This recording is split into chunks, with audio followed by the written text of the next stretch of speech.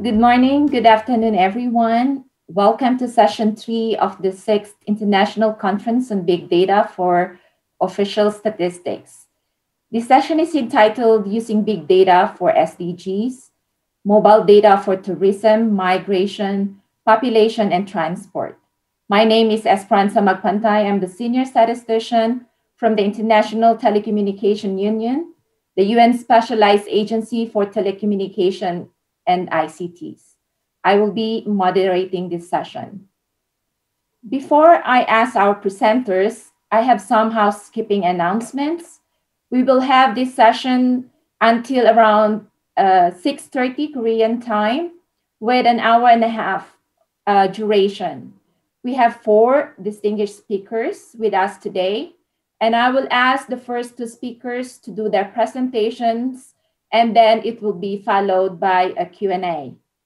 Participants are requested to post their questions in their live chat, uh, and then we will have our moderators read the questions after the two speakers. So to start, I am very happy and privileged to moderate this session and to represent one of the task teams of the Global Working Group on Big Data the task team on mobile phone big data, which I am currently leading. As you are all aware, the availability of mobile, mobile phones is very pervasive in all parts of the world, as well as the data that is generated or are generated from the use of mobile phones. There's a lot of expectation from this data, which is always tagged as an alternative or new data source to fill data gaps that are necessary for monitoring the progress towards the achievements of the Sustainable Development Goals. It is therefore important that the methods related to the production of these statistics derived from the mobile phone data are harmonized and standardized. To this end, the task team on mobile phone data has been working since the inception of the Global Working Group and since last year has been very active. Thanks to the joint efforts of several experts who are part of the working group. We have members that are coming from international organizations, national or countries, academia, private agencies, researchers, as well as experts that are working on mobile phone data in different areas of statistics. The task team is currently now comprised of around 50 indiv- individual experts and members, each bringing their own expertise and experiences. Recognizing the different areas where mobile phone data can be used, we formed six subgroups in the task team, in the mobile task team, to work on areas such as tourism statistics, which is currently led by BPS Indonesia. We also have a subgroup on migration statistics, currently led by Geostat uh, Georgia. We also have a, a subgroup on census and dynamic population, currently being led by FlowMinder, as well as transport and commuting statistics, currently being led by the World Bank, uh, and on information society statistics, which is currently led by yours truly and the ITU. We also have the last subgroup on the displacement in the sector context, which is currently led by the University of Tokyo. So one of the themes of this conference is on the use of mobile big data and how big data can support the monitoring of the progress towards the SDGs. The work of these subgroups uh, on defining the methodologies and standards and how to produce the statistics that are coming from the mobile phone data is very important. For example, the work that ITU leads on uh, looking at mobile phone data to derive statistics, particularly on the three SDG indicators. For example, the percentage of population using the internet, percentage of population that has um, access to mobile networks or mobile signal, and the percentage of the population who owns the mobile phone. We hope that we will be able to help countries, NSOs particularly, and other data providers to calculate the indicators that will be useful in monitoring the progress towards the SDGs. This is a very timely initiative and a necessary work at the time when we are in. Data collection, for example, in countries is being halted because of the, the situation that we are in with this COVID 19. All of this will be highlighted in the presentations by our distinguished speakers. All of them will highlight the ongoing work that is happening in the different subgroups and will showcase the use of mobile phone data in the different countries where they are operating. So without further ado, I would like to start our session today. I would like to invite Mr. Dongok Lee, who is the head of IoT and data department of SK Telecom. Mr. Lee is the person in charge of creating demographic data such as floating population data using mobile phone at SK Telecom, which is the mobile telecommunications operator with the largest market share in Korea. So Mr. Lee, I would like to invite our uh, colleagues from uh, Korea to play his uh, presentation. So I will introduce now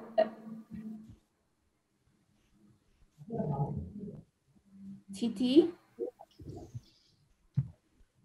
So Titi is the director of Finance, Information Technology and Tourism Statistics from BPS Indonesia.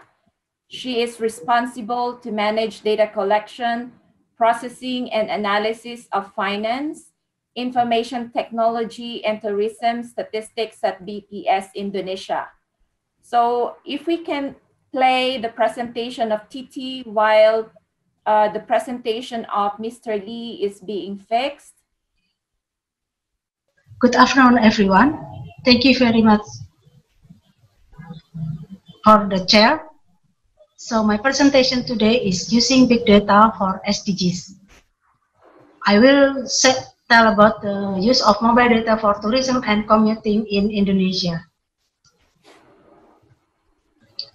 a background, in Indonesia, the SDGs target have been set up to achieve the 2013 agenda. There are uh, about 390 indicators, and BPS Statistik Indonesia contributes to 136 Indonesian SDGs indicators. Uh, actually, there are data gaps in terms of coverage, uh, granularity, subnational data we didn't some we didn't have and then frequency and timeliness.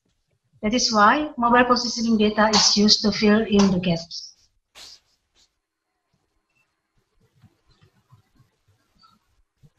how we fill the gaps with mobile positioning data like uh, in target 8.9 by the 2013 devise and implement policies to promote sustainable tourism that creates jobs and promote local culture and products. Immigration data is available for official gates, so we use uh, for inbound and outbound tourism. However, uh, mobile positioning data is used to increase uh, coverage to get data for unofficial gates. And also uh, we use uh, mobile positioning data to obtain granularity for tourism, uh, domestic for uh, domestic tourism. While in target 12B by the 2013, develop and implement tools to monitor sustainable development impact for sustainable tourism that create jobs and promote local culture and products. Since uh, there is no departure, uh, arrival and departure card anymore since 2015, so we use mobile positioning data for subnational data for tourism, inbound or domestic and outbound statistics. In target uh, 10.7, facilitate orderly, safe, regular, and responsible migration and mobility of people, including through the implementation of planned and well-managed immigration policies. We have a household survey which is only conducted every two years and not in all municipalities, only a few municipalities, about uh, 10 or 15. And mobile positioning data is used for commuting and internal migration to obtain monthly and in all municipalities.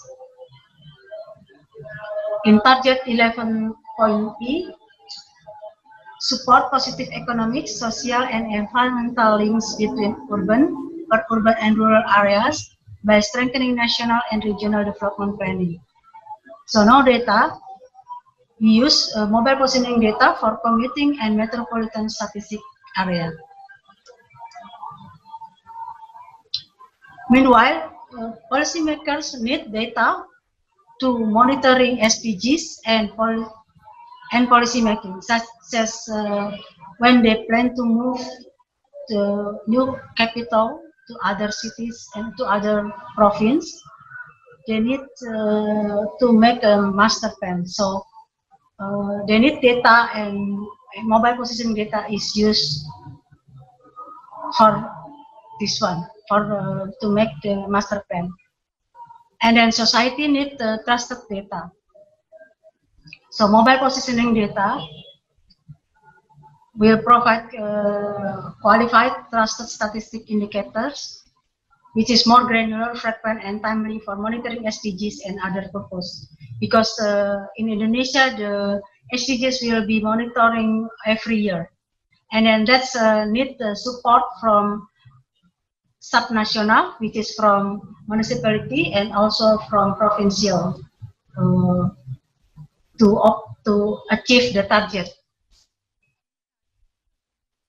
The benefit of using mobile positioning data with mobile data is used to increase the coverage and the data quality. And then we can get more frequent data like for the commuting. So uh, we can, uh, because we can get the monthly data, then uh, annual data for monitoring can be obtained. And then also uh, less work and respondent burden because uh, before we have uh, about three household survey, but now uh, at least uh, two household survey is disappear. And cost effective because less budget compared to survey for the mobile positioning data because the transportation cost of survey in Indonesia is quite uh, expensive, especially in the area where there is uh, no regular transport. And we also can get more granular data because from survey we can only like uh, get national data, but with mobile positioning data, we can get uh, up to municipality and even sub-district data for commuting and we can get uh, more timely data also because with uh, survey the processing often need uh, about uh, six months up to one year. And less manual labor we didn't need to hire enumerators. So this is uh, our data science teams. Uh, so these nine scientists can handle the workload that usually need about 8,000 enumerators for each quarter on domestic tourism household survey and about 500 enumerators on commuter household survey.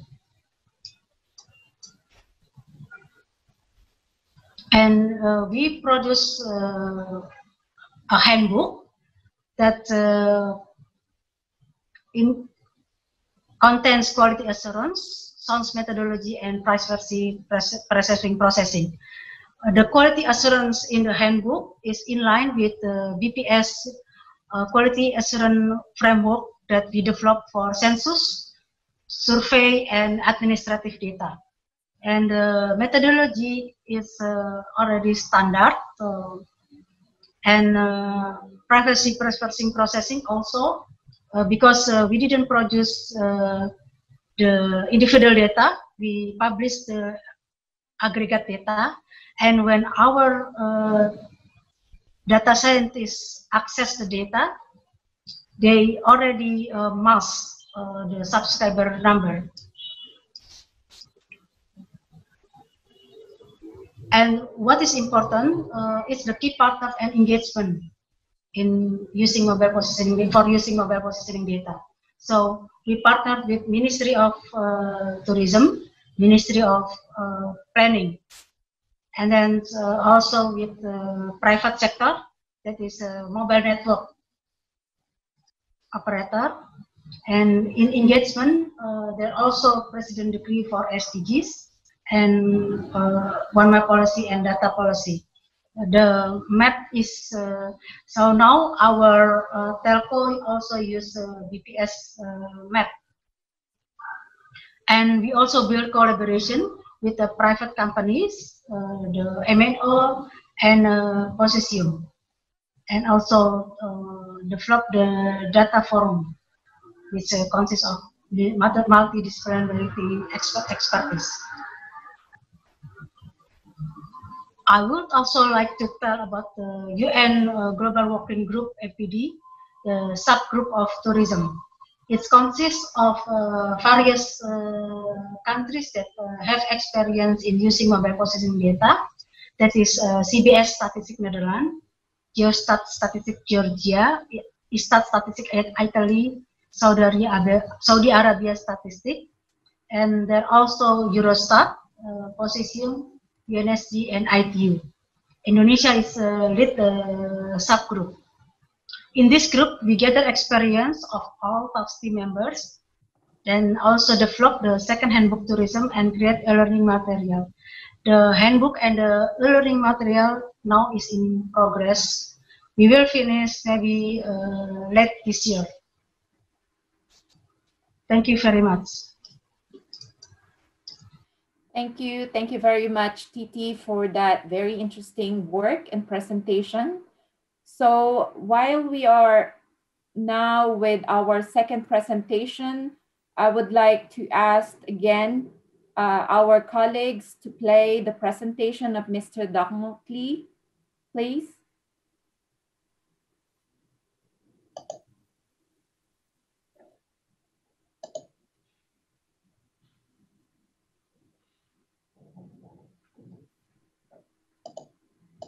Okay, so while uh, our colleagues are sharing the presentation, if we can maybe comment a bit on the presentation that was shared by Indonesia.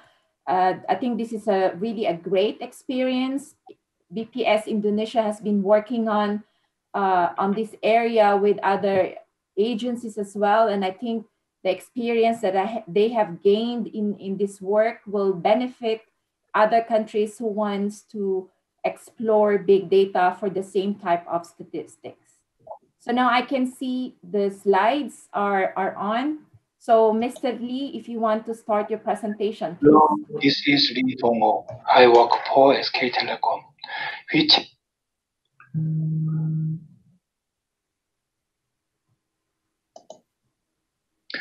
Hello, this is Lee Dongho. I work for SK Telecom, which has a market share of about 50% in Korea. I am in charge of creating statistical data such as demographics using mobile data. It's an honor to introduce information related to the use of mobile data in Korea. I will introduce three areas of mobile data use cases and web services. And finally, I will share and close our concerns about what is population data. Next. People counting and convergence of data. SKT has been using mobile data to create floating population information since 2010. The left screen represents SKT's market share in the telecommunication market. It's a favorite tourist destination in Korea 20th. SKT creates floating population data using SKT's number of customers and estimates the total floating population by reflecting the market share. Using the result, regions with low market share are identified and used for marketing. The screen on the right is the result of analyzing which area require more parking space. It is created by combining navigation data of private companies, parking space data for each building of local government, and public parking lot data. Next. There have been three outbreaks of group infection in Korea. This is the result of analyzing the decrease in population migration caused by the COVID-19. The blue line is 2019 and the orange line below is 2020. February 20, group infection, reduced population movement by 30%. Next. After that, the population movement volume recovered rapidly for about two months until the end of April. Next. At the end of April, a large-scale secondary infection occurred mainly among young people in their 20s. Next. But the effect of the outbreak in May to August were not seen. Maybe feeling fatigued from the continued mass infection. Two weeks ago, a third group infection has occurred, reduced population movement by 12%, and the next data will be automatic, uh, automatically extracted tomorrow. Next.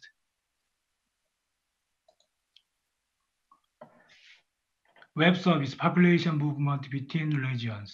Statistics Korea and SKTS launched the data service for population movement between regions.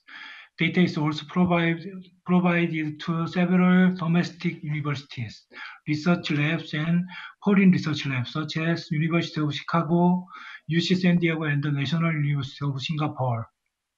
In September, additional analysis, analysis result will be added on the characteristic of summer vacation and visitors to the major commercial district. Next. Traffic. Korea Traffic Institute conduct comparison work with National Transport DB and mobile database origin destination data. The left side is the result. Coloration coefficient is over 0.9. Advantages of, mobile data is cost saving, moving between small areas, segmentation by general and age, and etc. In 2021, it was decided to use SKT's communication data for the National Transport DB survey project. Next. Real-time service every five minutes. SKT operates a nationwide floating population service that is produced every five minutes. Next. On the left screen, you can see the floating population density and on the right, you can see the growth rate based on the last three hours. Next. And you can select and view the desired gender and age. Next. If you select a specific area, you can see 24-hour trend line and gender and age composition ratio in the area. Next. The police said the number of emergency dispatch requests decreased by 15% compared to the previous year after the real-time services. Next.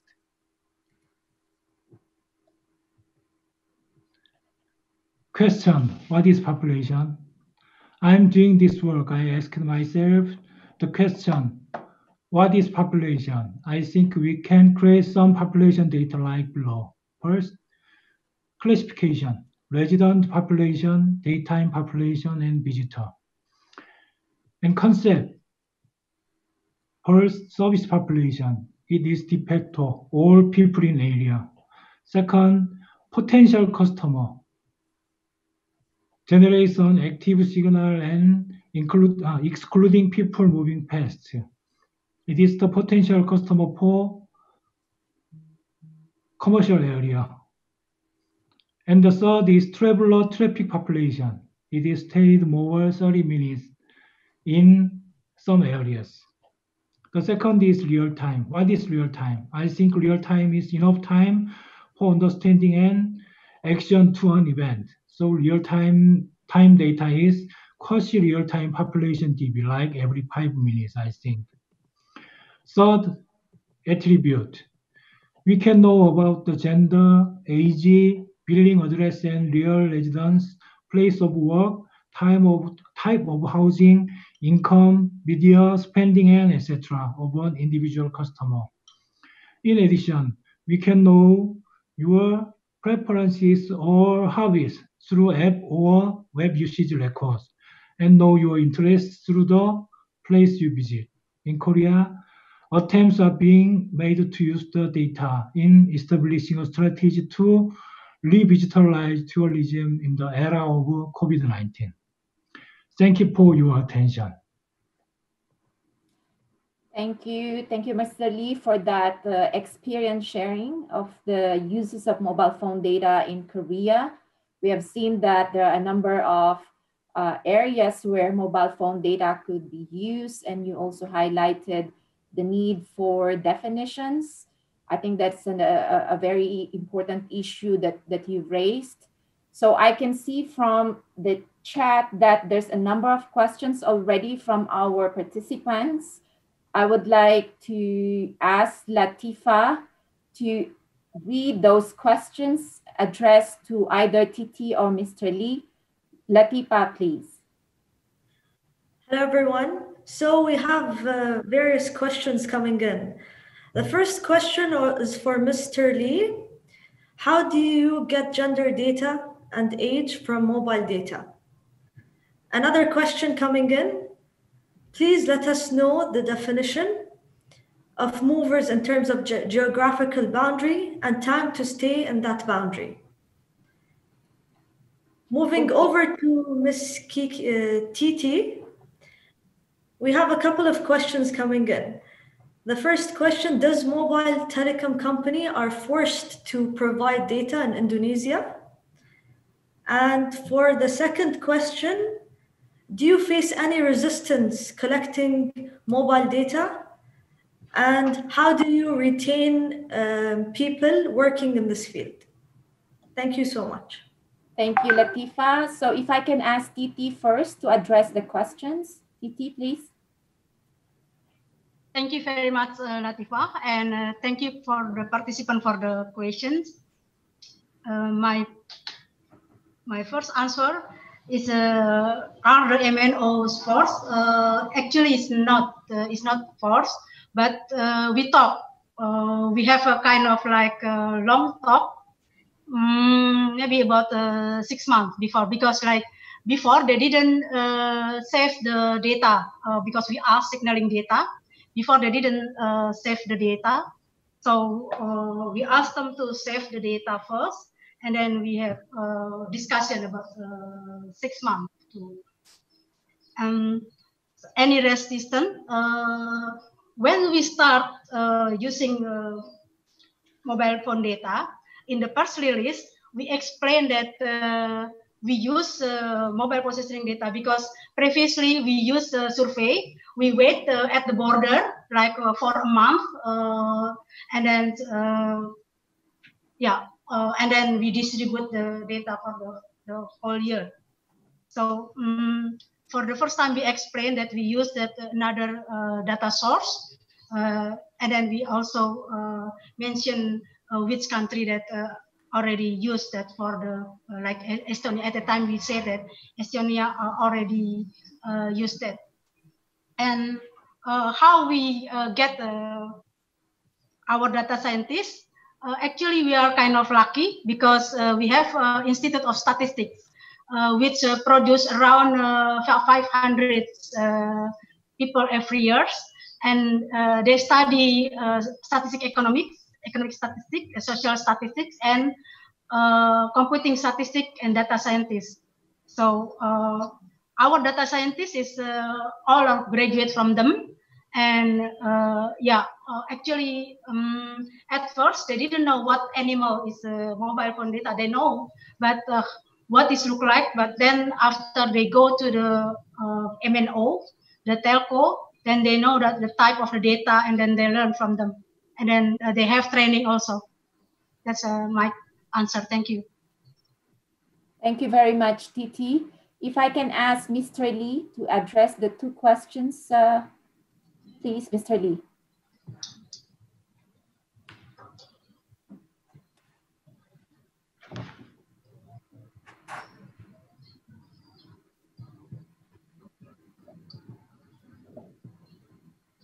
Mr. Lee, if I can ask you to answer the questions, please. Yes, okay.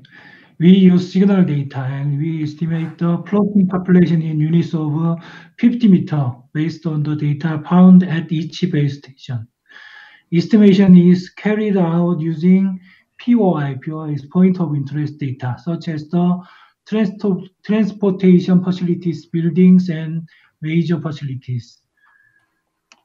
If 100 customers are identified at a uh, base station, a certain percentage of them will be near transportation facilities, and a certain percentage and a certain percentage will be in an office cluster.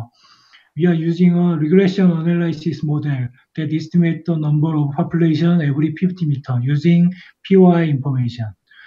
The verification uses tourist destination data that can count the number of people. In addition,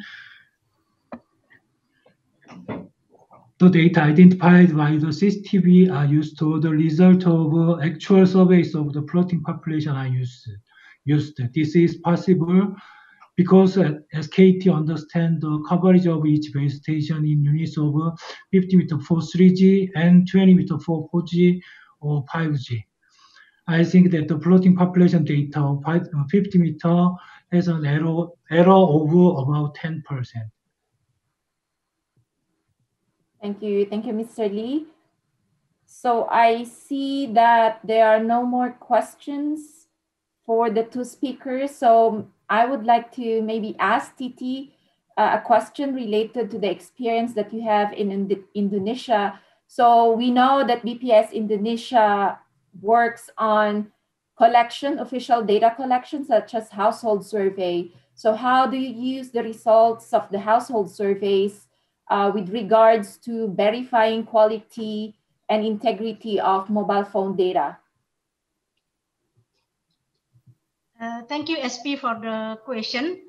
Um, yeah, uh, actually, uh, when cali calibrating the mobile phone data, we are not only use uh, household survey, but we also uh, use other uh, data like uh, immigration data and uh, like transport transportation, like from the railway, yeah, the railway data. yeah, we use we combine like for domestic tourism. we combine. I mean, we take first. Um, the data that uh, we got from the mobile phone uh, data and then compare with our uh, result. But that's uh, already after uh, inference, after uh, we estimate both.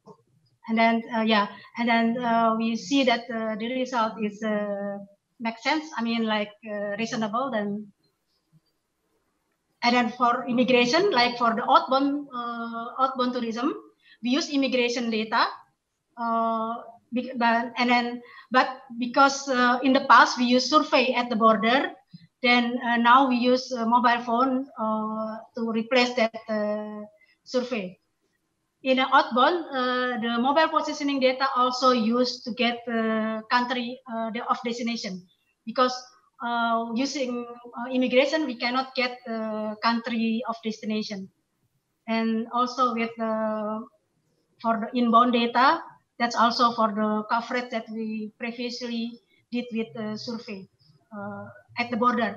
Like uh, maybe IMF call it uh, subtle trade uh, survey or something like that. Yes. Thank you. Thank you. Thank you, Titi. Thank you, Mr. Lee, for, for your answers. We would like to move on to the next two speakers. Uh, Mr. Lee and Titi, please stay on. We will be connecting with you again after the last two presentations. For now, we would like to ask Mr. Erwin Knippenberg. Mr. Knippenberg is the economist from the World Bank. He will be sharing with us an experience that they have uh, related to the work which they are uh, undertaking with University of Tokyo. Erwin, you have the floor. Uh, yes, thank you, Esperanza, and, and thank you, uh, for this this opportunity. Good morning, good afternoon, good evening, everyone. Um, as mentioned, I am going to. My name is Erwin Knippenberg. I'm a young professional economist at the World Bank, working in the poverty team. Uh, and we would like to talk a little bit about a collaborative effort we've done with the University of Tokyo to explore how we can leverage CDR data in the context of a developing country, specifically the Gambia, to inform some, some policy decisions. So first, a little context about the Gambia. Gambia is a country with a large percent of um, immigrants, and uh, therefore we started this conversation with the insight that CDR data analysis could inform the discussion on mobility and urban development. Um, one in three households is an international migrant, yet it remains unclear how this migration and remittances might evolve over time and how these patterns might differ across the country. We do know that between different parts of the country, different uh, shares of the population report being migrants. So there is a large variation. And we do know that a large number of migrants, there are both a large number of migrants who migrate from upriver to the main city, which is on the coast, and a large number of migrants who live abroad.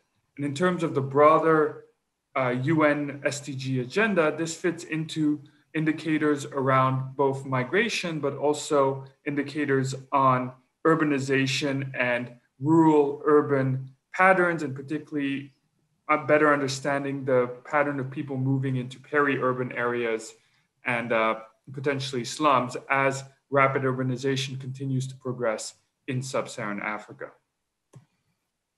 With that in mind, what we really wanted to do was rather than a one off where we went in and we acquired the data directly through a telecom operator and then analyzed it on our own as researchers, we wanted to develop a collaborative partnership with the government and particularly with the regulator uh, in the Gambia, as well as the National Statistics Agency. The idea there being that we first started with a workshop to highlight the uh, what was possible, what the technical capacity was. We then engaged in capacity building for the data controller, the regulator, to establish a system whereby they could expand their existing uh, capacity to acquire CDR data through the MNO operators and then analyze that data. So, really, the idea was to build a data pipeline from the MNOs originally through the regulator to the researchers and analysts so that at every point the data was owned by the government, the analysis informed the government priorities, and this was a sustainable process that could be continued after this project wound down.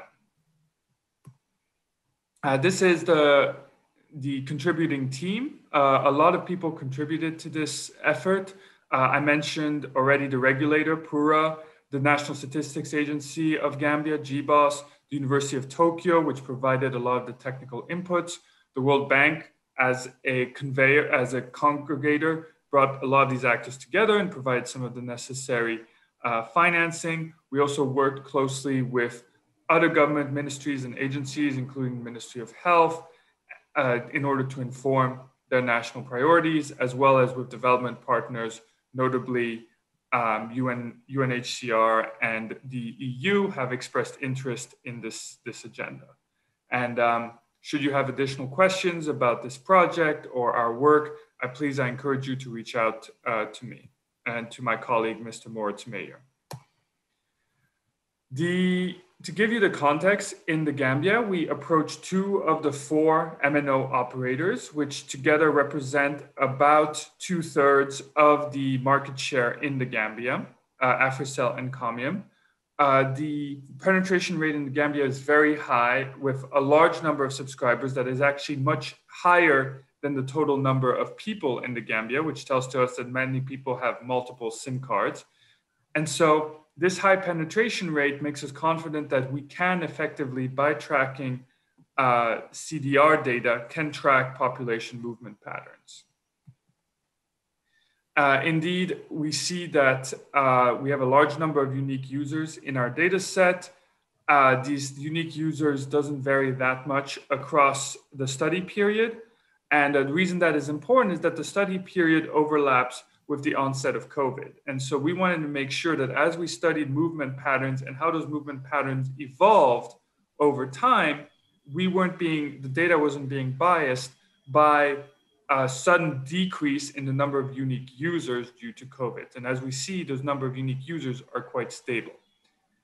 The populate, um, with that in mind, so we wanted to validate seeing that we had a stable population, a stable number of unique users, we wanted to validate whether that stable number corresponded with our population density estimates. So we used a log-log uh, regression to establish a linear correlation between ward and count and district level population estimates from two different sources and what the density according to the number of unique users told us. And we found a very strong correlation, both in significance and in magnitude, using two different sources, both World Pop, which is from 2019, and the, 2000, the latest census, which was from 2013. And so those made us relatively confident that by tracking the shift in density in unique users across time, we were actually tracking real population movement patterns. Now, of course, there are caveats in terms of how representative those people are in terms of gender and demographics, and I'm happy to talk about some of those caveats. But generally, this proof this gave us confidence that we could proceed in analyzing population movement dynamics. So the timeline of the analysis, as it happened, overlapped with COVID. So we started by using as a baseline the first two weeks of March, where the COVID lockdowns had not yet been put in place in the Gambia. And then we compare that to a series to every week afterwards for the next three months, where we see the restrictions being put in place, the state of emergency, the closure of borders. But we also, and we'll see this in the data, we also see the onset of Ramadan, which actually leads, since Gambia is a Muslim country, actually leads to an increase, a temporary increase in mobility. So, with that in mind, here's a, a snapshot of the analysis we did, where you see um, the population movement patterns. So, in the in the West, on the far left is the urban center of the Gambia, Banjul and Serekunda, which are on the coast. And you'll see that pre COVID, those were areas where a lot of people tended to move towards. Um, that way, we had a positive inflow. As the lockdown is put in place, you see those colors shift from green to purple, suggesting that the inflow goes from being net positive to being net negative, and people are actually fleeing the, the coast and the urban areas and going back to their home areas um, to live through the lockdown. And then throughout the country, we're seeing a shift and we're seeing the whole country basically go from green, which suggests a lot of movement and a lot of back and forth, to purple, which suggests a lot of people are in lockdown. The one exception to that is, as I mentioned, during Ramadan, where we see a burst of activity as people move around uh, and we hypothesize that is to rejoin different family to rejoin family members and celebrate the beginning of Ramadan together. Then, towards the end of our study period, May 24th to 30th, we then see a resumption in activity, and gradually we see the, the underlying migration patterns take over as people shift back to the urban areas, as people shift back to um, Serekunda and Banjul. We also disaggregated this data by the poverty quintile of the poverty rate in each of these wards and found that the highest level of decrease in movement was in the poorest wards, which suggests that truly the poorest areas were the ones most affected by the lockdown and by the pandemic. And I'm happy to talk about that further. So, this was our first case study, which came about because of COVID. Our second case study uh, was linked specifically to migration. So this is from data that predates COVID, so it's not affected by the change in migration patterns due to COVID. But what we found here is when we looked at the share of international calls that were incoming to uh, specific cell phone towers as a proportion of the total number of cars calls, this actually matches quite closely with an existing survey we made we did of households of the percent of households that had a migrant in their in their household. And what this tells us is when we know is that we can use CDR data not only to track population movement patterns, but also to understand which areas are hotspots for migration, which areas are places where a lot of migrants are coming from, they're leaving home, and then they're calling back home to talk to their loved ones. And we can then see how those patterns shift in, react, in reaction to some outside event, be that conflict, be that drought, be that an economic shock. So we can really use CDR data to track migration patterns in real time. And with that, um, I look forward to your questions and, and thank you again for this, this opportunity. Thank you. Thank you very much, Erwin. I think you had highlighted two important points there that I pick up. One is the importance of coordination and cooperation with the different stakeholders in the country in implementing this project, as well as the importance of checking um, definitions and ensuring that they uh, coincide with existing official statistics. So with that, I would like to move to our next presenter, Mr. May Offermans. Mr. Offermans is the creative and innovator at Statistics Netherlands, who specializes in mobile phone data and public transport data for official statistics. Mr. Offermans, the floor is yours. Thank you very much to uh, and uh, for the opportunity to speak here at this uh, conference. I'm going to switch to the video now, uh, to the presentation now.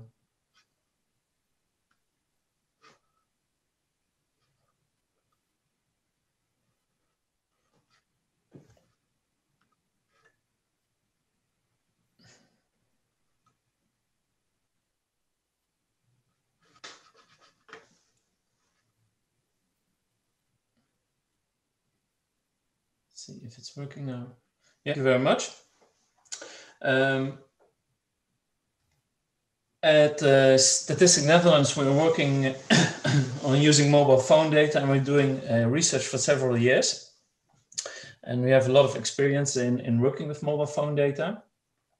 And the reason uh, why is that we uh, um, have all kind of changes in society. So we have the platform economy, which makes uh, tourism very difficult because we had uh, a lot of tax registrations we could use uh, to measure that. But uh, because of new developments there, we have uh, we, we yeah there is a need for for new type of data. And um, so we're just looking at the uh, at the we're doing research for just for the application. So we haven't implemented anything yet and we see the same development in other European countries like Germany, Italy, Belgium, and, and France. Some practical challenges with uh, working with this kind of data is, of course, data access. In the Netherlands, we have three operators. Uh, another issue is um, um, dealing with privacy authority and, and, public relations. This data source is really new people have the idea that and the, and the perception that they are actually being tracked down, which is not the case. We're just counting people, so that's a big difference, but it's very difficult uh, to explain that to, to the public. So uh, yeah, getting to, to privacy, um, it's uh, yeah, of course, you need to do a lot about that. So the first thing we, we do, we do no connections on a personal uh, uh, level or any tracking. We do not uh, interconnected type of data with registrations, just to make sure that privacy is really um, uh, guaranteed. So we make counts based on anonymous, uh, anonymous analysis. Uh, we connect all the data on a meso and macro level and on space and time. So um, we're not doing this on a micro level. And everything uh, on output is based on uh, 100 meter tiles. So this is a new way of uh, uh, handling with uh, data on a very low level. the technical challenges, of course, are geo geolocation determination, determine who is a resident and who is a um, a guest in a certain area. It's a large data set. You need um, fast processing uh, facilities. And uh, you have to implement everything at the operator. So here, uh, I want to show you some examples. Uh, this one is, of course, before COVID. So this is the King's Day in Amsterdam. It's uh, usually uh, when there's no COVID, um, there are many crowds. And Amsterdam is a really old city, um, and and they want to have crowd management system. They want to know how many people are there. So we did some uh, pilots there. So there we uh, determined uh, how many people are there and where are they coming from. So we made a nice origin destination cube.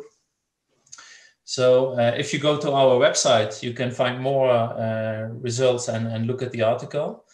And what we discovered actually that on these events, uh, it's not that crowded as on a normal working day. So uh, on and off, but the difference is mostly the behavior of the people. People are outside and not inside. So this gives you new insights on, on how crowds behave and uh, the number of people visiting. So this is more a standard representation. We always have these fancy uh, infographics, but you can also just make a chart like this. So this is the estimated population.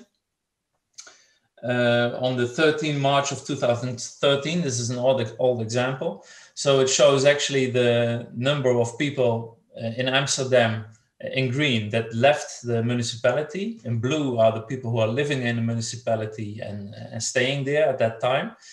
Uh, in pink, you see the people who are, or red, depends on your screen. Um, you see the people visiting Amsterdam. And in purple, you see the tourists actually being there at that uh, time. And the black dot you see in this uh, image is the number of people according to the census.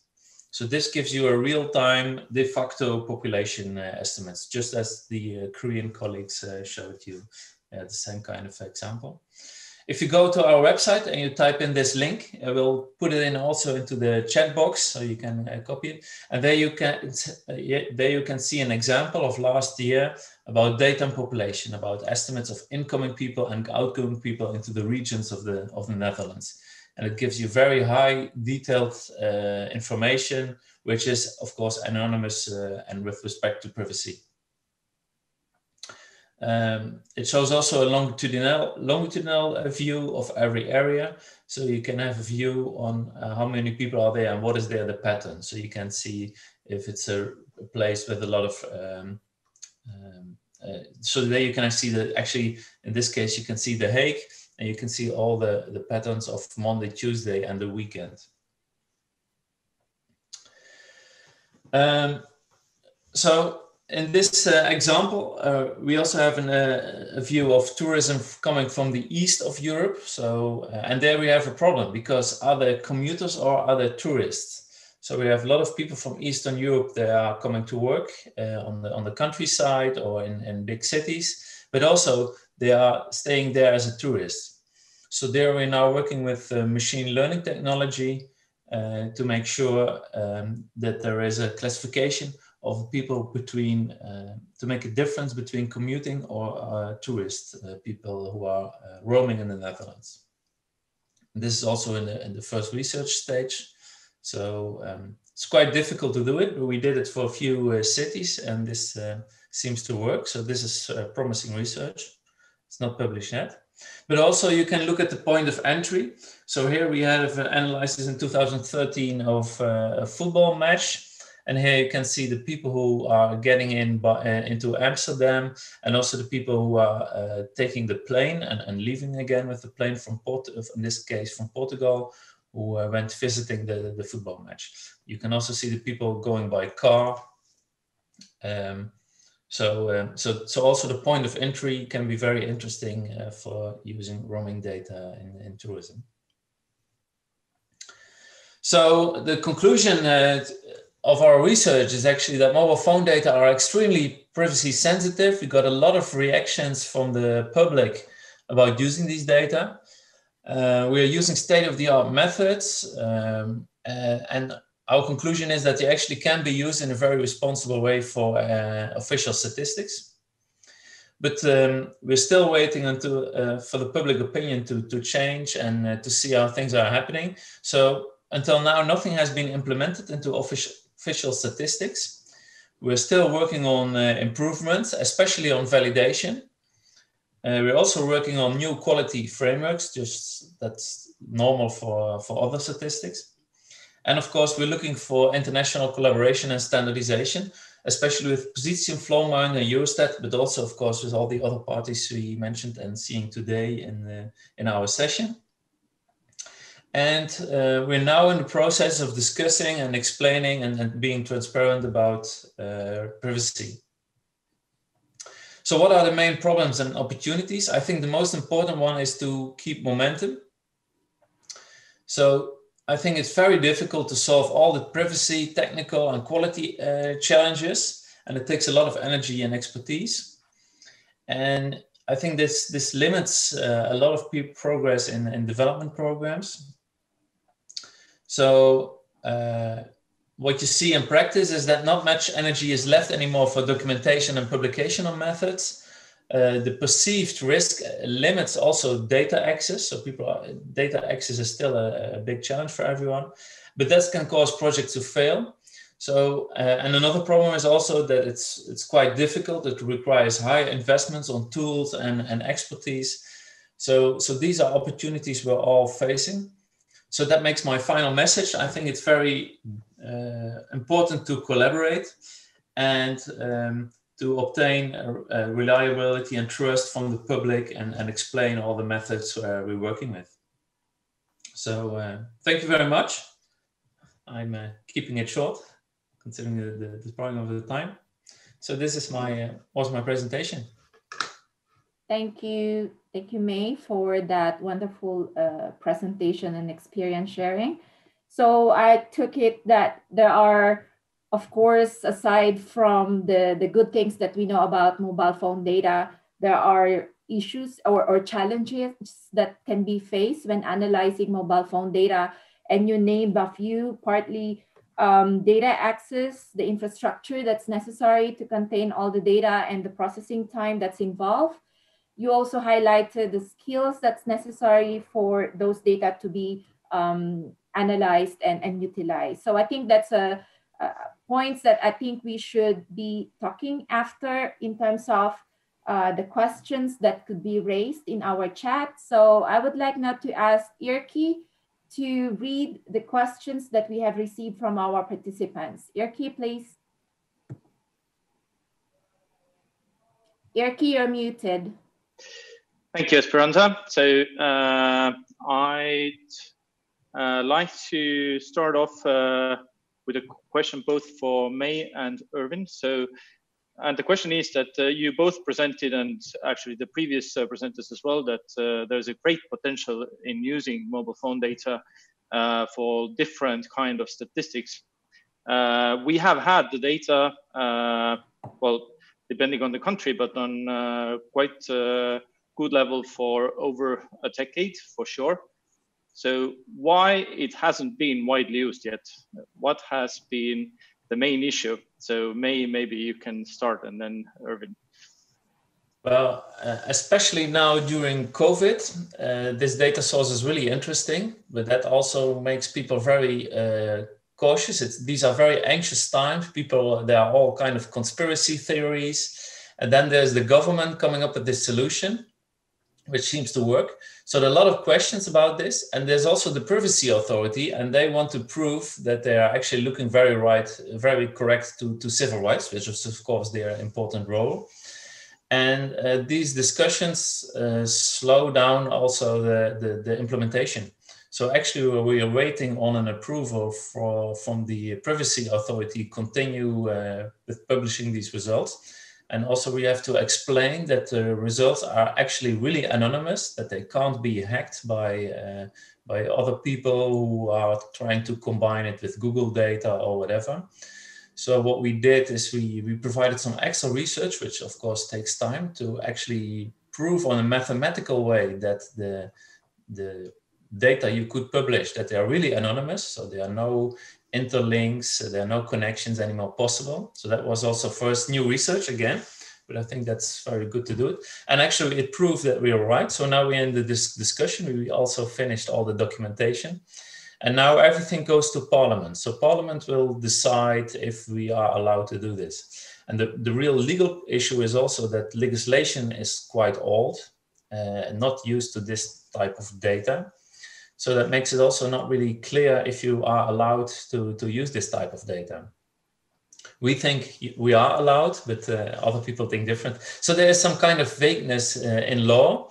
And then there's this sensitive thing that people are being tracked down. So people think these are GPS data, they are being tracked down uh, on an individual level, which is not the case. So we just count them on, a, on an aggregated level. And uh, it's very difficult to, to change this into the minds of people that we're making statistics and not tracking them uh, individual. So these discussions are now taking place in public and press and um, and and yeah, that that's slowing us down now for uh, implementing it. Okay, thanks. So Irvin, uh, what about you? What do you think? Why it has been kind of taking time to use the statistics and and and uh, what have been the main problem in your work that you uh, what you've done uh, to do take the statistics forward so I, I completely agree with with uh, Mr. Offerman's uh, point that data confidentially confidentiality privacy concerns are, are paramount and that those need to be addressed uh, right off the bat that, which is where it's key to engage directly with governments and with regulators to make sure there is an understanding there's ownership, and there is a, a political will, whether that goes to parliament or through a government decision, another government decision-making process, there is a, a ownership to, to go forward with this sort of analysis. Uh, I think, in addition, at least in, in our context, working in developing countries, there is often a technical capacity gap to bring this. You know, this is sophisticated data, and in order to analyze it properly, in order to ensure it is properly encrypted, properly anonymized, um, used and available in such a way as to not be de- be re-identified, as uh, Mr. Offermans pointed out, that takes a certain amount of training and that takes a certain amount of capacity that needs to be built up.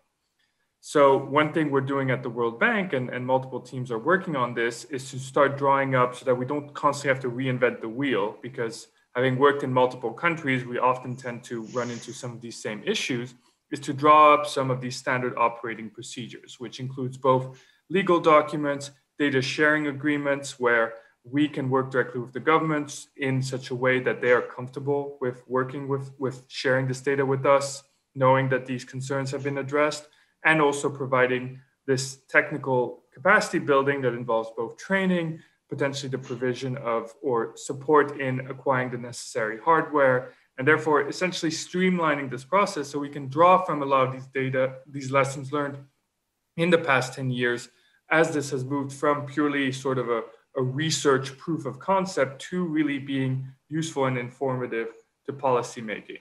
And I think in many ways, the COVID pandemic has accelerated this process because it has demonstrated the usefulness of this data in, uh, in a public health context. And in many ways, uh, the countries that have gone the further, so the countries that had already started laying the groundwork to have these conversations, because these are conversations that can't happen when you need the data. These are conversations that need to happen months, if not years in advance, that when the data becomes, when you really need the data, you've laid you've laid out all the necessary legal and technical groundwork. So thanks for both of you. I totally agree. So it just uh, really uh, is the time to put into the, these discussions on uh, legal and technical uh, side uh, that needs to be uh, made happen. So I totally agree as well that the COVID situation is changing. So now to the questions from the audience. Uh, Erwin, we have two questions for you, uh, two technical questions. So the first one is, uh, how does the market share can be used as a var variable uh, to correct adjust uh, coverage issues? So you used the uh, market share and how did you correct adjust the coverage issues in Gambia? so as of now, so you, you can potentially use market share to, to weigh the um, CDR data to, to weigh proportionally. That requires an assumption that the market share is equally distributed across the entire country. We know from our conversations with the distributors that that might be an overly simplistic assumption, that some of the, the, uh, the uh, agencies might be more present in rural areas versus urban areas. So we are working with them to use the market share to then reweigh our analysis and um, and therefore adjust accordingly using proportionate uh, market share weights. I will note that one of the advantages of working with directly with the regulator rather than through the MNOs is that in principle the regulator has made a decision, and this goes back to the uh, importance of getting regulatory buy-in, that this is necessary data as determined by the Gambian government and therefore that all MNO operators are in principle um, obliged to comply with these data provision requirements. We've only been able to analyze two of the four because given the urgent nature of this analysis, they were the ones who were able to provide the data in time. But in principle, again, working through the regulator, we should be able to have full compliance from all four uh, data, uh, MNO operators. And that, to us, is an advantage of working through the government rather than working directly with a single MNO operator. Thanks. And another technical one is what is the definition for unique users in your analysis? So we use IMEIs, which are the unique IDs assigned to every um, SIM card. And therefore, so every SIM, which is why, as you see, we have more SIM cards than uh, people in the country, because the idea is people have can often have multiple SIM cards. Often they play different between different MNO operators. So when we use, say, unique users, we say unique IMEIs. Okay, thanks. So turn to uh, May a question for you. How do you, and that was actually my question as well, how do you validate the results of machine learning algorithms? Yeah, that's a good one. Um, there's several methods, and there's always validation. There's not always one method to do it. So uh, the first thing we are doing is simply uh, look at the data and have some kind of face validity uh, test. Just looking at okay, what is happening? How is the classification working on a very local level? So, so just one city. So you can use simulated data uh, uh, first and to, to, to, test the algorithms. So you have a simulation and saying, okay, this is really a student. This should be a pattern of a, a, tourist. So this should be a pattern of the commuter. And then you can test the algorithm. So this is the first design test. And then you can test it on, uh, in, on real data in practice. And then we have the advantage you have some kind of registrational data uh, which is not always uh, the, the very best, but gives a good indication because the commuters, they pay tax in the Netherlands. So we have tax registrations uh, on the commuter commuters. And uh, for tourists, um, there we have the, the normal tourism statistics, which are also based on registrations in hotels and, and uh, and other official uh, accountabilities, knowing that there is, an, of course, an underestimate in the official uh, um, tourism numbers because a lot of people are using new platforms like Airbnb. So these are the way uh, to do it. Uh, so I think the most powerful one is to, to use synthetic data based on, uh, on, on, okay, what could be a normal commuter, what could be a normal uh, student or, or tourist. But yeah. Yeah, so actually finding the ground truth data is very hard, right? Uh, for the training. There, there is another one I forgot to tell. So there's another one, and that's using um, informed consent of certain people, and then have an own panel. So you create your own control panel, your own control group uh, of these people. You know everything. So we're also trying to set up a panel for that. Yeah. Yeah. Good. So, and uh, the last question uh, just came in, uh, and this is for both of you. Uh, so, starting with you, May. So, the question is do you think big data can be relied upon to provide information or build decisions and plans as is the case with statistics? So meaning the official statistics most probably. So what do you think? Big data, is it reliable? Uh, I think it's always a combination. So I think there should be some uh, a good combination between uh, survey data, um, a, a local data, uh, uh, so that could would be the best. But if if it's um, if you have tested enough, validated enough, if there's a quality framework, yeah, of course you can use it. And I think in Estonia is actually proven that you can use it for uh, official tourism statistics. So there, that's one of the examples. And Indonesia, it's the same. So there, and, and also I saw a very nice exp- um, uh, presentation of KOSTAT for data and population or de facto population. So that actually proves that you can make uh, official statistics out of it. Thank you. And can we ask Thank Erwin you. as well? Okay. Yes, please. So, so I, Erwin, what do you think? I completely agree. I think it's important to triangulate between official um, survey data, which is what we traditionally rely on, and these, these new sources of data. I think every data source has its pros and cons, its advantages and disadvantages. And by putting them together in uh, in different ways and, and trying to innovate, we can get at better insights. Um, you know, we've demonstrated throughout multiple of these presentations that you can use traditional survey data to then ground truth to validate big data, and then the big data offers you both scale and higher temporal and spatial resolution than survey data can necessarily do. So this in no way substitutes for traditional hard, those traditional work of survey data, which remains crucial, but in many ways complements it and enhances it. Thank you. Thank you. So back to you, Esperanza. Thank you very much, Erki. Thank you uh, to Erwin and to May for those wonderful answers. I'm conscious of the time. We have two minutes left. It's get, getting late in Korea, so I will now conclude. Um, from this session, we have seen several examples that showcases the potential of mobile phone data in addressing the data gaps, specifically for the SDG indicators. There are challenges in front of us, including data privacy, access to data, data governance, interoperability, lack of capacity or skills, lack of or issues related to infrastructure to host this data. And all of these could be uh, mitigated by um, working together and involving different stakeholders in the country. We have seen that cooperation and coordination in these examples that we have seen in the presentations uh, that we have uh, shown today has proven positive in terms of mitigating these um, challenges.